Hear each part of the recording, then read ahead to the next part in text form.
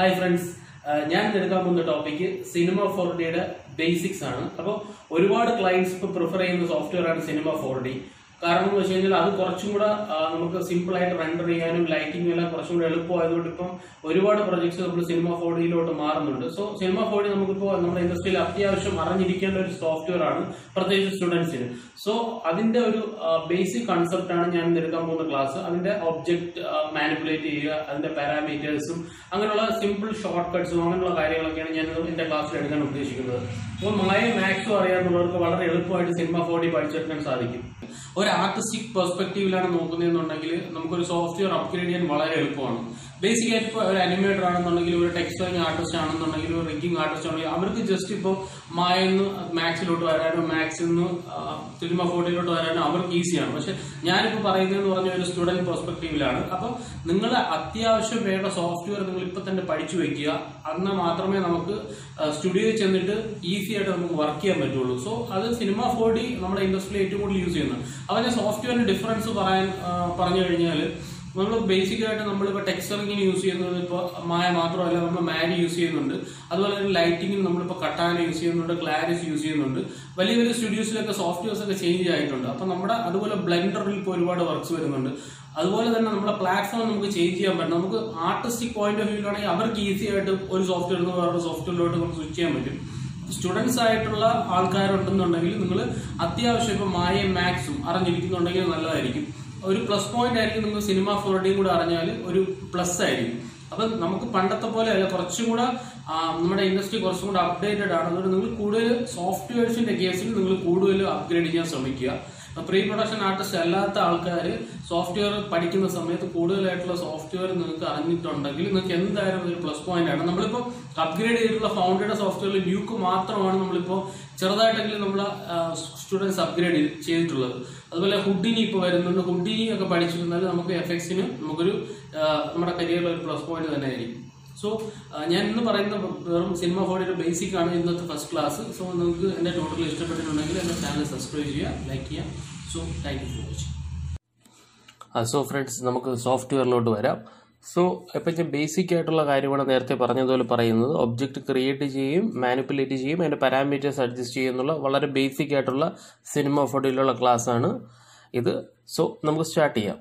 So ആദ്യം നമ്മൾ സാധാരണ മായ മാക്സ് പോലെ തന്നെ ഓൾട്ട് പ്രസ് ചെയ്തിട്ട് തന്നെയാണ് നമ്മൾ മിഡിൽ മൗസ് ഹാൻഡിൽ ചെയ്ത് കഴിഞ്ഞാൽ തന്നെയാണ് നമുക്കിതിനകത്ത് പാനിങ് നടക്കുന്നത്. അതുപോലെ തന്നെ ഓൾട്ട് സൂം ഇന്നും സൂം ഔട്ട് അല്ലെങ്കിൽ middle mouse zoom in zoom out alt left mouse തന്നെയാണ് ഇതിലും നമ്മൾ റൊട്ടേഷൻ ഹാൻഡിൽ ചെയ്യുന്നത്.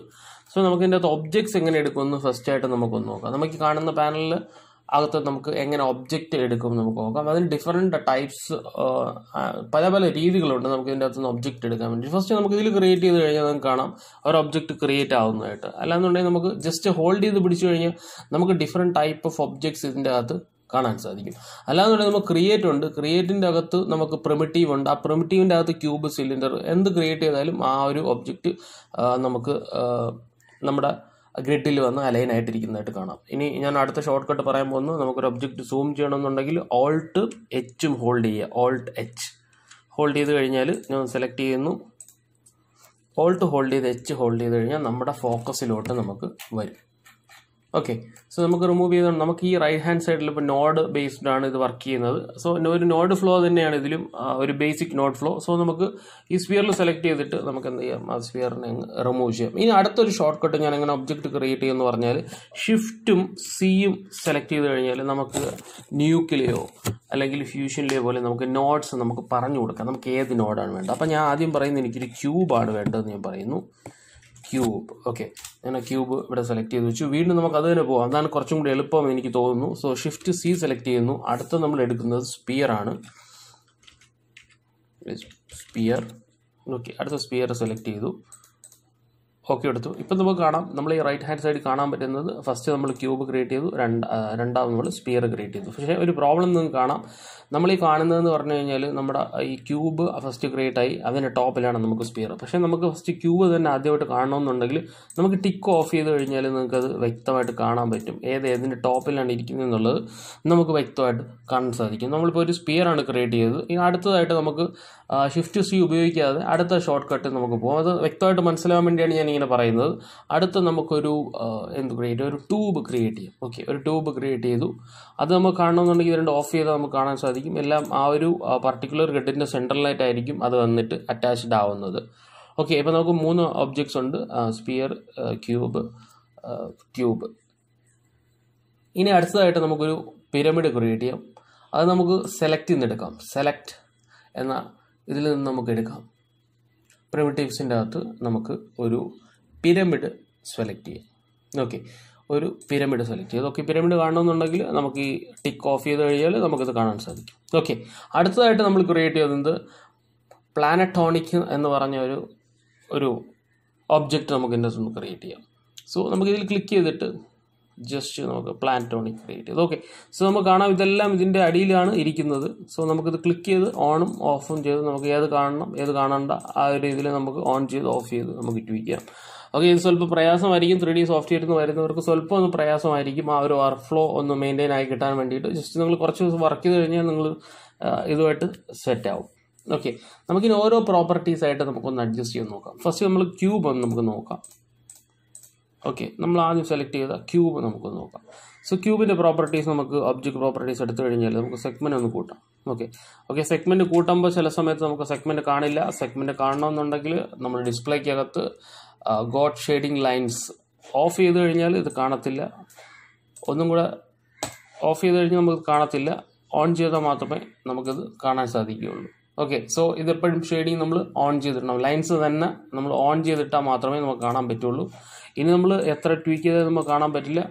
കാരണം നമ്മൾ ലൈൻസ് തന്നെ ഓൺ ആക്കണം. എന്നാൽ മാത്രമേ നമുക്ക് ഇതിനകത്ത് കാണാൻ പറ്റുള്ളൂ. ഇത് മായ മാക്സ് പോലെ തന്നെയാണ്.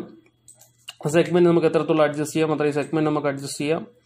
ഓക്കെ ഞാനൊന്ന് സൂം ചെയ്യാണ്. ഓൾ ടച്ച് അടിച്ച് ഞാനൊന്ന് സൂം ചെയ്തു. ഓക്കെ നമുക്ക് ഒന്ന് റൊട്ടേറ്റ് ചെയ്ത് നോക്കാം.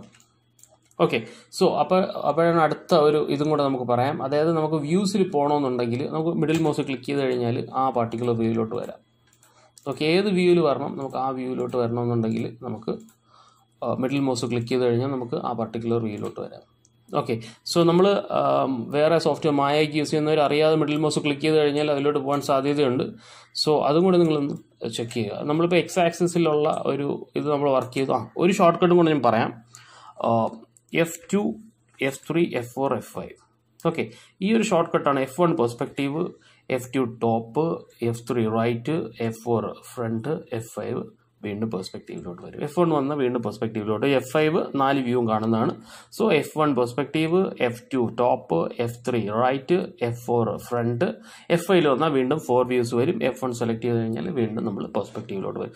സോ ഇനി സെഗ്മെന്റ് നമ്മളൊന്ന് അഡ്ജസ്റ്റ് ചെയ്യണം. എല്ലാത്തിന്റെ സെഗ്മെന്റ് നമുക്ക് ഈസി ആയിട്ട് നമുക്ക് ഇതിനകത്ത് അഡ്ജസ്റ്റ് ചെയ്യാൻ പറ്റും.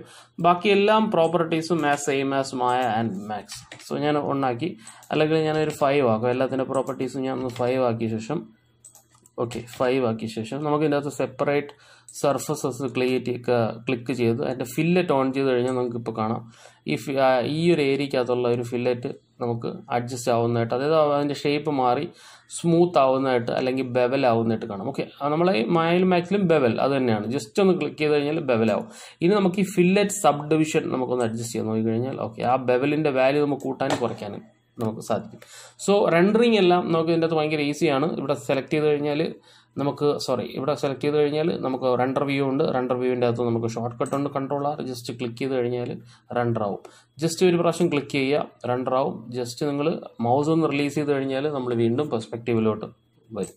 ജസ്റ്റ് ക്ലിക്ക് ചെയ്യുന്നു. അല്ലാന്നുണ്ടെങ്കിൽ സ്പേസ് അടിച്ചാൽ നമുക്ക് പുറത്തേക്ക് വരാൻ സാധിക്കും സ്പേസ് അടിക്കുന്നതിനെക്കാട്ടി നല്ലത് നമ്മൾ ജസ്റ്റ് ക്ലിക്ക് ചെയ്തിട്ട് ജസ്റ്റ് മിഡിൽ മൗസ് വെച്ച് സ്ക്രോൾ ചെയ്ത് കഴിഞ്ഞാൽ നമുക്ക് പുറത്തോട്ട് വരാൻ സാധിക്കും. സോ നമ്മൾ വീണ്ടും ഒബ്ജക്റ്റിൽ ക്ലിക്ക് ചെയ്യുന്നു. ആ ഒബ്ജക്ട്സിന്റെ പ്രോപ്പർട്ടീസ് നമുക്ക് മനസ്സിലായെന്ന് ഞാൻ പ്രതീക്ഷിക്കുന്നു. സോ ഈ ഒബ്ജക്റ്റ് ഹൈഡ് ചെയ്ത് വെച്ചിട്ട് ഞാൻ അടുത്ത ഒബ്ജക്റ്റ് ആക്ടിവേറ്റ് ആക്കുന്നു. ഇപ്പം നമ്മൾ സെലക്ട് ചെയ്തതെന്ന് പറഞ്ഞാൽ സ്പിയർ ആണ് നമ്മളിപ്പോൾ സെലക്ട് ചെയ്ത് വെച്ചിരിക്കുന്നത് റൈറ്റ് സോ സ്പിയറിന്റെ അകത്ത് നമുക്ക് ഒബ്ജക്റ്റിന്റെ അകത്ത് നമുക്ക് റേഡിയസ് കൂട്ടാം. സെഗ്മെന്റ്സ് നമുക്ക് കൂട്ടാം. ടൈപ്പ് ഒരുപാട് ടൈപ്പ് നമുക്ക് ഇതിന്റെ അകത്ത് അവർ തരുന്നുണ്ട്. സ്റ്റാൻഡേർഡ് അതുപോലെ തന്നെ ടെട്രാ ഹെഡ്രൺ ഹെക്സാ ഹെഡ്രൺ അങ്ങനെ different type of of octahedron അങ്ങനെ ഡിഫറെന്റ് ടൈപ്പ് ഓഫ് ഹെമിസ്ഫിയർ അങ്ങനെയുള്ള എല്ലാം നിങ്ങൾ ജസ്റ്റ് ചെക്ക് ചെയ്ത് നോക്കുക. അത് different type of object properties parameters ഹെമിസ്ഫിയറിന്റെതുണ്ട് so അത് തന്നെ നമുക്ക് അതിന്റെ സെഗ്മെന്റ് അഡ്ജസ്റ്റ് ചെയ്യാം. ഓക്കെ സെഗ്മെന്റ് റേഡിയസ് അങ്ങനെയുള്ള കാര്യം. നമുക്ക് ഇതിന്റെ സെഗ്മെന്റ് നന്നായിട്ട് കുറച്ചതിന് ശേഷം ഓക്കെ ഫൈവ് ഹൺഡ്രഡ് നോക്കി നോക്കിക്കഴിഞ്ഞാൽ കാണാം. ആ ഒരു പ്രോപ്പർട്ടി തന്നെയാണ് നമുക്ക് ഇതിന്റെ അകത്ത് കാണാൻ സാധിക്കുന്നത്. ഓക്കെ ഞാൻ ഇതിന്റെ ഡീഫോൾട്ട് സ്റ്റാൻഡേർഡിലോട്ട് വന്നു. സ്റ്റാൻഡേർഡിലോട്ട് വന്നിരിക്കുന്ന സമയത്ത് ഇതിന്റെ സെഗ്മെന്റ് ഞാൻ കുറച്ച് കഴിഞ്ഞാൽ നോർമലി നമ്മൾ ഒരു ഫോർട്ടി സൈസ് ആയി കഴിഞ്ഞാൽ നോർമലി നമ്മുടെ സ്പിയറിന്റെ ഡിഫോൾട്ട് ഷേപ്പ് പോലെ തന്നെ നമ്മൾ വരും. നമ്മൾ സീറോ ആക്കിയിട്ട് നമുക്ക് വീണ്ടും ഒന്ന് റെൻഡർ ചെയ്ത് നോക്കാം. ഓക്കെ അവിടെയാണ് അതിന്റെ ഒരു വ്യത്യാസം കാണുന്നത്. പക്ഷേ നമുക്ക് ഈ സ്റ്റാൻഡേർഡ് പ്രൊമറ്റീവ് സ്റ്റാൻഡേർഡിൽ അല്ലെങ്കിൽ ഒബ്ജക്ട് പ്രോപ്പർട്ടി സ്റ്റാൻഡേർഡിലാവുന്ന സമയത്ത് നമുക്ക് അതിന്റെ സ്റ്റാൻഡേർഡൈസ്ഡ് ഓപ്ഷൻ ആയിരിക്കും റണ്ടറിൽ കാണാൻ പറ്റുന്നത്. അതേപോലെ നമ്മൾ എത്ര സെഗ്മെന്റ് കുറച്ചാലും നമുക്ക് സ്റ്റാൻഡേർഡ് ആയിട്ടുള്ള ഒരു ഒബ്ജക്റ്റിന്റെ പർട്ടിക്കുലർ ഷേപ്പ് തന്നെ ആയിരിക്കും റണ്ടറിൽ കാണാൻ പറ്റുന്നത്. അതായത് പെർസ്പെക്റ്റീവിൽ കാണുന്നത് വേറെ ആണെന്നുണ്ടെങ്കിൽ റണ്ടറിൽ അതിന്റെ ഓട്ടോമാറ്റിക് ആയിട്ടുള്ള സെഗ്മെന്റ് അത് കാൽക്കുലേറ്റ് ചെയ്യാൻ നമ്മളെ കാണിക്കും. ഓക്കെ ക്ലിക്ക് ചെയ്ത് കഴിഞ്ഞാൽ വീണ്ടും ഞാൻ പുറത്ത് വന്നു. ഓക്കെ അടുത്തത് നമ്മൾ ഇതിനെ ഹൈഡ് ചെയ്തിട്ട് ഇത് ജസ്റ്റ് ഇത്രയും പ്രോപ്പർട്ടീസേ ഉള്ളൂ. അത് കഴിഞ്ഞ് സ്പിയർ കഴിഞ്ഞിട്ട് അടുത്ത് നമ്മൾ വരുന്നത് ട്യൂബിന്റെ പ്രോപ്പർട്ടീസിലാണ് ട്യൂബിന്റെ അകത്ത് നമുക്ക് ഇന്നർ റേഡിയസ് അതിന്റെ അകത്ത് നമുക്ക് എക്സ്ട്രാ ഒരു സ്ലൈസ് എന്ന് പറഞ്ഞൊരു പ്രോപ്പർട്ടിയും കൂടെയാണ് അത് നമുക്ക് ഒബ്ജക്റ്റ് നോക്കിയ ശേഷം സ്ലൈസിലോട്ട് പോവാം. ഇന്നർ റേഡിയസ് നമുക്ക് കൂട്ടാൻ സാധിക്കും. ഓക്കെ നിങ്ങൾക്ക് ഇവിടെ റൊട്ടേഷൻ ചെയ്യണമെന്നുണ്ടെങ്കിൽ ഇതിന്റെ അകത്ത് ഇവിടെ നമുക്ക് റൊട്ടേറ്റ് ചെയ്യാൻ പറ്റും. ഈ മൂവിൽ ജസ്റ്റ് ക്ലിക്ക് ചെയ്ത് കഴിഞ്ഞാൽ ഇതിന്റെ അകത്ത് റൊട്ടേറ്റ് എന്ന് പറഞ്ഞൊരു ഓപ്ഷൻ ഉണ്ട്. നിങ്ങൾക്ക് ഒബ്ജക്റ്റ് റൊട്ടേറ്റ് ചെയ്യണമെന്നുണ്ടെങ്കിൽ ജസ്റ്റ് റൊട്ടേറ്റ് ചെയ്ത് നോക്കാം. ഓക്കെ ഒബ്ജക്റ്റ് റൊട്ടേറ്റ് ചെയ്തുണ്ടെങ്കിൽ റൊട്ടേറ്റ് ചെയ്ത് നോക്കാം. ഇപ്പോൾ ഈ ഈ ഒരു ഗിസ്മോ അല്ലെങ്കിൽ ഈ ഒരു പർട്ടിക്കുലർ ഗിസ്മോ നമുക്ക് ചേഞ്ച് ചെയ്ത് നോക്കാം. അതായത് ചില സമയത്ത് നമുക്കിതിന്റെ ഇപ്പോൾ ഞാൻ വീണ്ടും ഒരു ട്രാൻസ്ലേറ്റ് ഓപ്ഷനിൽ വന്നു കഴിഞ്ഞാൽ ഓക്കെ മൂവ് ഓപ്ഷനിൽ വന്നു കഴിഞ്ഞാൽ ഇതിന്റെ സ്കെയിൽ ഓപ്ഷൻ ആക്ടിവേറ്റ് അല്ല. നമുക്ക് എപ്പോഴും മായിലൊക്കെ ആണെന്നുണ്ടെങ്കിൽ അതിന്റെ കൂടെ തന്നെ നമുക്ക് വേറെ ഓപ്ഷൻ അടിക്കുമ്പോൾ പെട്ടെന്ന് നമുക്കത് ഈ ഡബ്ല്യു യു ഒക്കെ ആർ അടിക്കുമ്പോൾ നമുക്ക് സ്കെയിൽ ചെയ്യാൻ പറ്റും. അപ്പോൾ ആ ഒരു ബുദ്ധിമുട്ട് നമുക്ക് ഇതിന്റെ അതുണ്ട് ഓൾട്ട് ഡി അടിച്ചു കഴിഞ്ഞാൽ നമ്മുടെ ആ ഒരു പ്രോപ്പർട്ടി നമുക്ക് ഇതിന്റെ അകത്ത് എടുക്കാൻ പറ്റും. സ്കെയിലും കൂടെ നമുക്ക് ഇതിന്റെ അകത്ത് ആക്ടിവേറ്റ് ആക്കാൻ പറ്റും. അല്ലാതെ അല്ലാത്ത ഷോർട്ട് കട്ട്സ് ഉണ്ട്. ഭയങ്കര എളുപ്പമുള്ള ഷോർട്ട് കട്ടാണ് ഞാൻ പറയുന്നത്. വീണ്ടും ഓൾട്ട് ഡി അടിച്ചു കഴിഞ്ഞാൽ വീണ്ടും നമ്മളെ പഴയ ഗിസ്മോ നമുക്ക് കാണാൻ പറ്റും. സോ ഓൾട്ട് ഡി അടിച്ചു കഴിഞ്ഞാൽ നിങ്ങൾക്ക് ഇപ്പോൾ സ്കെയിൽ ചെയ്യണമെന്നുണ്ടെങ്കിൽ ഒബ്ജക്റ്റിനെ ഈസി ആയിട്ട് സ്കെയിൽ ചെയ്യാൻ സാധിക്കും. ഓക്കെ സോ വീണ്ടും ഞാൻ അതിൽ സെലക്ട് ചെയ്തു. അതിന്റെ സെഗ്മെന്റ് അഡ്ജസ്റ്റ് ചെയ്തു. അതിന്റെ ഔട്ടർ സെഗ്മെന്റ് അഡ്ജസ്റ്റ് ചെയ്യുന്നു. അതുപോലെ തന്നെ ഹൈറ്റ് അഡ്ജസ്റ്റ് ചെയ്യുന്നു. ഇനി ഹൈറ്റിന്റെ സെഗ്മെന്റ് നമുക്കിവിടെ അഡ്ജസ്റ്റ് ചെയ്യാൻ പറ്റും. അതുപോലെ തന്നെ ഓറിയന്റേഷൻ പ്ലസ് എക്സ് അതുപോലെ മൈനസ് എക്സ് അതുപോലെ തന്നെ പ്ലസ് വൈ മൈനസ് വൈ അതുപോലെ തന്നെ plus Z minus G okay ഡീഫോൾട്ടിൽ വന്നു കഴിയുമ്പോൾ ആണ് ഡീഫോൾട്ടിൽ നമുക്കൊണ്ട് വയ്ക്കാൻ സാധിക്കും. ഓക്കെ അല്ലാന്നുണ്ടെങ്കിൽ നമുക്ക് റൊട്ടേറ്റ് ചെയ്ത് അല്ലെങ്കിൽ നമ്മുടെ ഓറിയന്റേഷൻ പ്ലസ് വൈ വെച്ചിട്ട് നമ്മുടെ പഴയ പ്രോപ്പർട്ടി പോലെ നമുക്ക് മെയിന്റെയിൻ ചെയ്യാൻ പറ്റും. അപ്പോൾ ഇതിനകത്ത് എക്സ്ട്രാ ഉള്ള ഓപ്ഷൻ എന്ന് പറഞ്ഞാൽ സ്ലൈസ് എന്ന് പറഞ്ഞൊരു ഓപ്ഷൻ ഉണ്ട്. സോ സ്ലൈ സ്ലൈസ് നമുക്കൊന്ന് ക്ലിക്ക് ചെയ്യാം. ക്ലിക്ക് ചെയ്ത് കഴിഞ്ഞാൽ നമുക്ക് കാണാൻ സാധിക്കും. ഈ ഒരു ഒബ്ജക്റ്റ് സ്ലൈസ് ആയതായിട്ട് നമുക്ക് കാണാൻ സാധിക്കും. ഓക്കെ ജസ്റ്റ് സ്ലൈസ് ആയി നമുക്ക് ഈ ഒബ്ജക്റ്റിനെ കാണാൻ സാധിക്കും. ഓക്കെ ഇതൊരു ഒബ്ജക്റ്റ് ഇപ്പോൾ സ്ലൈസ് ആയിട്ടുണ്ട്. നമുക്ക് ഡ്രാഗ് ചെയ്ത് നോക്കിക്കഴിഞ്ഞാൽ നമുക്ക് ഒരു ജസ്റ്റ് ഒരു ആ ഒബ്ജക്റ്റിൽ നിന്ന് ആ ഒബ്ജക്റ്റിലോട്ട് പോകുന്നതായിട്ട് നമുക്ക് ഇതിന്റെ അകത്ത് കാണാൻ സാധിക്കും. അല്ലാന്നുണ്ടെങ്കിൽ തിരിച്ച് ടു ഫ്രം ആണെങ്കിൽ ഫ്രം അല്ലെങ്കിൽ ടു ആണെങ്കിൽ അതിൽ നിന്ന് വന്നിട്ട് നമുക്ക് ഇതിന്റെ അകത്ത് ഈ ഒബ്ജക്റ്റ് പ്രോപ്പറായിട്ട് അലൈൻ ആവണമായിട്ട് നമുക്ക് കാണാം. ഓക്കെ ഗ്രിഡിന്റെ ഓപ്ഷനാണ് അവർ ചോദിച്ചിരിക്കുന്നത്. റെഗുലർ ആക്കണോ? റെഗുലർ ആയി കഴിഞ്ഞാൽ റെഗുലർ ആയിട്ടുള്ള ഓപ്ഷനിൽ വരും. അത് നമുക്ക് അല്ലാതെയും അഡ്ജസ്റ്റ് ചെയ്യാം. അതിന്റെ വിടുത്തും ഹൈറ്റും എല്ലാം നമുക്ക് ആ വരുന്ന ഗ്രിഡിന്റെ ഓപ്ഷനിൽ പോലെ തന്നെ ആ കട്ട്സിന്റെ ഓപ്ഷൻ നമുക്ക് കറക്റ്റായിട്ട് മെയിന്റെയിൻ ചെയ്യാൻ സാധിക്കും. ഓക്കെ ഇനി നമുക്ക് ക്യൂബ് അവിടെ ഇരിക്കട്ടെ. അടുത്ത് നമുക്ക് പിരമിഡ് ഓപ്ഷൻ നമുക്കൊന്ന് ടിക്ക് ചെയ്യാം. ഓക്കെ ഇതാണ് ബേസിക് പിരമിഡിന്റെ ഓപ്ഷൻ അതിന്റെ അകത്ത് നമുക്ക് പ്രത്യേകിച്ച് ഒരു ഓപ്ഷൻ ഇല്ല. സെയിം തന്നെയാണ് അതിന്റെ ഒബ്ജക്റ്റിന്റെ സൈസ് ഓക്കെ ഒബ്ജക്റ്റിന്റെ മൂന്ന് axis X Y Z segment നമുക്ക് കൂട്ടാം. ഓറിയന്റേഷൻ എക്സും വൈ മാത്രം മാത്രമേ ഉള്ളൂ. അതിന്റെ തന്നെ നെഗറ്റീവും പോസിറ്റീവുമാണ് നമുക്കുള്ളത്. ഓക്കെ പ്ലസ് വൈയിൽ വന്ന ഇതിലിരിക്കും. നമുക്കൊന്ന് ജസ്റ്റ് ഒന്ന് റെൻഡർ ചെയ്ത് നോക്കാം. റെൻഡറിൽ പോയി ജസ്റ്റ് ക്ലിക്ക് ചെയ്ത് കഴിഞ്ഞാൽ ഓക്കെ ഇത് റെൻഡർ ആയിട്ടുണ്ട്. വീണ്ടും നമ്മൾ ഒന്ന് സ്ക്രോൾ ചെയ്ത് കഴിഞ്ഞാൽ റെൻഡറിൽ നിന്ന് പുറത്ത് വന്നു. നമുക്ക് വേണമെങ്കിൽ ഇതിന്റെ സെഗ്മെന്റ്സ് കൂട്ടാം. റെൻഡർ ചെയ്ത് നോക്കാം. പക്ഷേ പ്രത്യേകിച്ച് കാര്യമില്ല.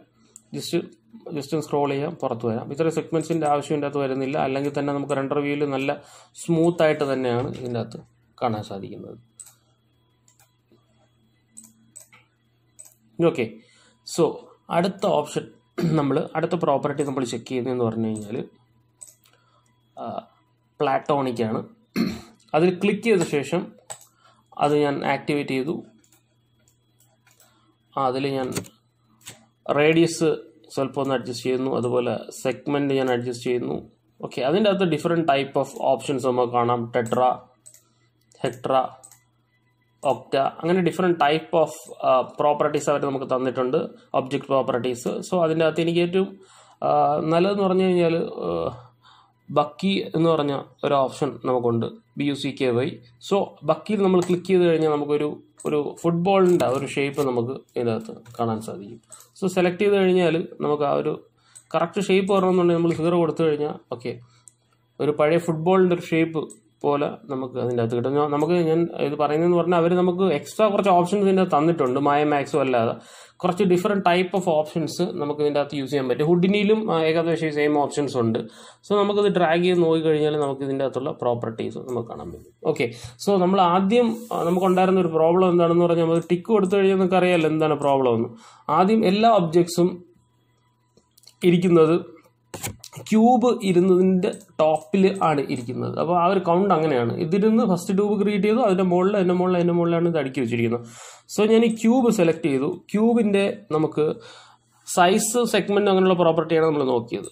ഓക്കെ നമുക്കിതിന്റെ കോർഡിനേറ്റ്സിലോട്ട് വരാം. എക്സ് വൈ സി ആ കോർഡിനേറ്റ് ഉണ്ടല്ലോ. ആ കോർഡിനേറ്റിന്റെ അകത്ത് നമുക്കിതിനൊന്ന് അലൈൻ ചെയ്യാം. ഓക്കെ ഈ കോർഡിനേറ്റിനെ നമുക്കൊന്ന് അലൈൻ ചെയ്യാം. അതിന് വേണ്ടിയിട്ട് ഈ എക്സ് ആക്സിസിനെ നമുക്ക് ഒന്ന് അലൈൻ ചെയ്യാം. അതിനുവേണ്ടി നമുക്കൊരു സ്ക്രിപ്റ്റ് കൊടുക്കാം. കൺട്രോൾ ഹോൾഡ് ചെയ്തിട്ട് cube sphere tube pyramid platonic അതെല്ലാം കൂടെ സെലക്ട് ചെയ്ത ശേഷം ഞാൻ അതിന്റെ അകത്ത് സ്റ്റാർ അടിക്കുക. നമുക്ക് ഈ റൈറ്റ് ഹാൻഡ് സൈഡിൽ കാണാൻ പറ്റും. ഫൈവ് എലമെന്റ്സ് ഏതൊക്കെയാണെന്ന് പ്ലാ platonic pyramid tube sphere cube so ഞാൻ കൊടുക്കുന്ന ഒരു സ്ക്രിപ്റ്റ് എന്ന് പറഞ്ഞാൽ നം നമ്പർ ഇന്റു ഇന്റു നമുക്കൊരു വാല്യൂ കൊടുക്കാം. അപ്പോൾ ട്രാൻസ്ലേറ്റിൽ ആ ഒരു വാല്യൂയിലോട്ട് അത് പോകും ഫോർ ഹൺഡ്രഡ് അടിച്ചു കഴിഞ്ഞാൽ നമ്മൾ ആദ്യം കൊടുത്ത ഒബ്ജക്ട്സിന് ആണ് ആദ്യം നമ്മൾ സെലക്ട് ചെയ്യേണ്ടത്. അതനുസരിച്ചായിരിക്കും അത് മൂവ് ചെയ്യുന്നത്. ഓക്കെ ഇതിപ്പോൾ ഓൾറെഡി മൂവ് ആയി. ഞാൻ ഒന്നുകൂടെ കാണിക്കാം. ഓക്കെ ഇങ്ങനെ ഇരിക്കുന്ന ഒബ്ജക്ട്സ് ഫസ്റ്റ് ട്യൂബിൽ സെലക്ട് ചെയ്തു. ഓക്കെ ഫൈൻ കൺട്രോൾ ഹോൾഡ് ചെയ്ത് ബാക്കിയുള്ള ഒബ്ജക്ട്സ് സെലക്ട് ചെയ്യുക. അല്ല എന്നാലേ ആ ആ ആ ഒരു പർട്ടിക്കുലർ ഒബ്ജക്റ്റ് അനുസരിച്ചായിരിക്കും ബാക്കിയെല്ലാം ട്രാൻസ്ലേറ്റ് ആവുന്നത്. സോ സെലക്ട് ചെയ്തു. നമ്പർ ഇൻ ടു ഒരു ഫോർ ഹൺഡ്രഡ് കൊടുത്തു കഴിഞ്ഞാൽ അത് ആ ഒബ്ജക്റ്റിൽ ആ ഒരു പ്ലേസിൽ ഇരുന്നുകൊണ്ട് ബാക്കിയെല്ലാ ഒബ്ജക്റ്റും ട്വീക്ക് ആവുന്നതായിട്ട് നമുക്കിവിടെ കാണാൻ സാധിക്കും. ഓക്കെ സോ ഇതാണ് ബേസിക് ആയിട്ടുള്ള എന്റെ ഫസ്റ്റ് ക്ലാസ് സിനിമ ഫോഡിയിലുള്ളത് സോ നിങ്ങൾക്ക് എന്തെങ്കിലും സജഷൻസ് ഉണ്ടെങ്കിൽ കമന്റ് ബോക്സിൽ കമന്റ് ചെയ്യാം. അല്ലെങ്കിൽ കൂടുതൽ സിനിമ ഫോഡിയെ കുറിച്ചുള്ള ട്യൂട്ടോറിയൽസ് ഞാൻ ചെയ്യുന്നുണ്ട്. നിങ്ങൾക്ക് ഈ വീഡിയോ ഇഷ്ടപ്പെട്ടിട്ടുണ്ടെങ്കിൽ എന്റെ ചാനൽ സബ്സ്ക്രൈബ് ചെയ്യാം ലൈക്ക് ചെയ്യാം. നിങ്ങൾക്ക് ഈ വീഡിയോ ഇഷ്ടപ്പെട്ടു ഞാൻ പ്രതീക്ഷിക്കുന്നു. കൂടുതൽ മലയാളം വി എഫ് എക്സ് ഓറിയന്റഡും അനിമേഷൻ ഓറിയന്റഡും അല്ലെങ്കിൽ ഗെയിമിംഗ് ഓറിയന്റഡ് ആയിട്ടുള്ള വീഡിയോസിന് വേണ്ടിയിട്ട് എന്റെ ചാനൽ സബ്സ്ക്രൈബ് ചെയ്യാം ലൈക്ക് ചെയ്യാം. So thank for watching